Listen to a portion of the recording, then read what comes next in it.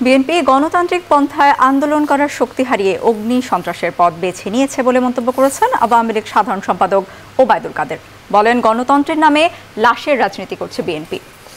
তাই জনগণের নিরাপত্তা সুরক্ষায় ব্যবস্থা নিচ্ছে সরকার। এদিকে তথ্য ও সম্প্রচার মন্ত্রী বলেন, বিএনপি নির্বাচনে না এলেও তাদের নেতারা অংশ নেবেন। জনসমর্থন ছাড়া সন্ত্রাস করে ক্ষমতায় যাওয়া যাবে না বলেও জানান তিনি।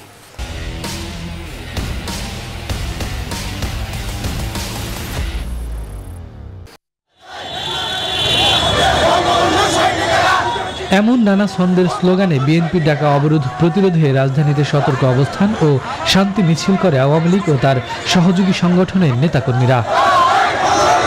তারই অংশ হিসেবে বাড্ডায় অবরোধ, প্রতিবাদ ও শান্তি মিছিল করে ঢাকা মহানগর, উত্তর আওয়ামী লীগ। বঙ্গবন্ধু এভিনিউর সামনে অবস্থান নেয় ঢাকা মহানগর, দক্ষিণ আওয়ামী লীগ।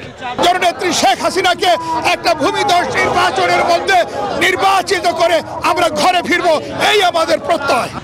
কেন্দ্রীয় কর্মসূচির অংশ হিসেবে রাজধানীর গাবতলী, মিরপুর, যাত্রাবাড়ি, বাবুবাজার, খিলগাঁও সহ শহরের গুরুত্বপূর্ণ স্থানে অবস্থান নিয়ে বিক্ষোভ মিছিল করে যুবলীগ, স্বেচ্ছাসেবক লীগ সহ আওয়ামী লীগের সহযোগী সংগঠনের নেতাকর্মীরা।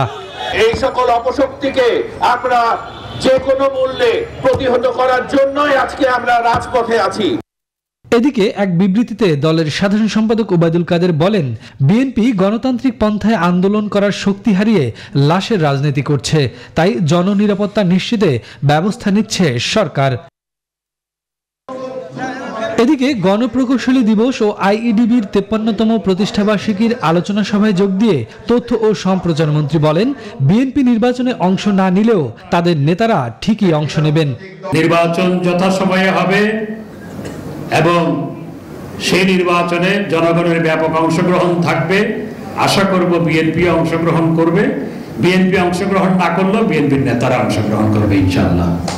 জনসম্পৃক্ততা হারিয়ে বিএনপি ক্ষমতায় যেতে সন্ত্রাস ও বিদেশি শক্তির উপর ভরসা করছে জানিয়ে তিনি বলেন সন্ত্রাস নির্মূলে সরকার বদ্ধপরিকর। আমাদের সরকার সমস্ত আগুন সন্ত্রাসীকে নির্মূল করতে বদ্ধপরিকর। Shafikuzzaman Rubel news twenty Dhaka.